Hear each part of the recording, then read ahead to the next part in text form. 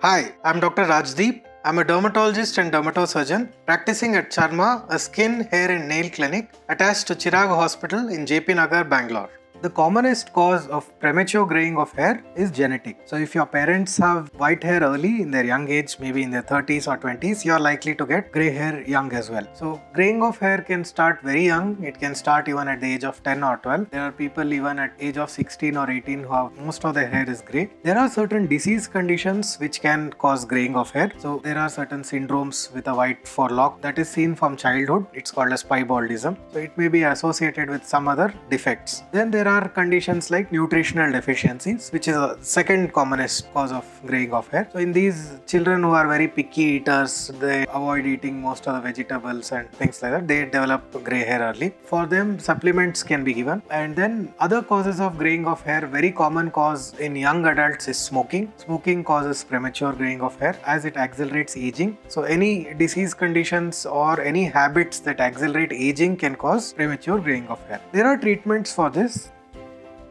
supplements like calcium pantothenate help. And there are medicines which have precursor of melanin which is a substance which produces the brown color. So there's a precursor of melanin which is available as lotions. And uh, there are other treatments like uh, growth factor injections or uh, derma roller micro needling etc which can help to reverse the graying of the hair. So if you have early graying of hair visit a dermatologist near you. Let them find out what is the cause for that and treat accordingly